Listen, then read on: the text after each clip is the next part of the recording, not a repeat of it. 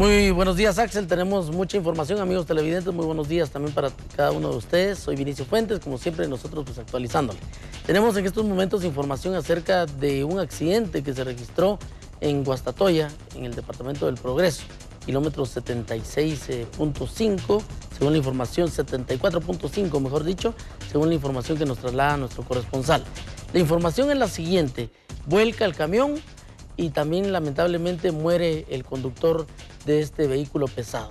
Esa es la información, ya tenemos los datos, los detalles, específicamente también el nombre de la persona que murió, como Juan José Chacón Ajú, de 53 años, fue identificado el conductor de un camión quien murió tras volcar la unidad que conducía en la carretera al Atlántico. Estamos hablando, como les indicaba, kilómetro 74.5, jurisdicción de Guastatoya en el departamento del Progreso.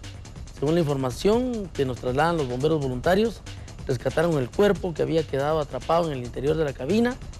El camión, el conductor del camión viajaba de norte a sur con, dirección hacia la ciudad capital y hasta el momento se desconoce pues, las causas del percance.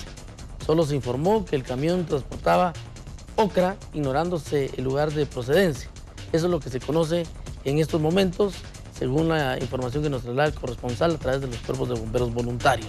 Ahí tiene usted en su pantalla cómo pues, los cuerpos de socorro trataron de auxiliar eh, a, la, persona, no se pudo hacer ya nada más por él, solo pues, se utilizó algún equipo especial para rescatar el cuerpo sin vida y es lo que usted está observando a través de los cuerpos de bomberos voluntarios.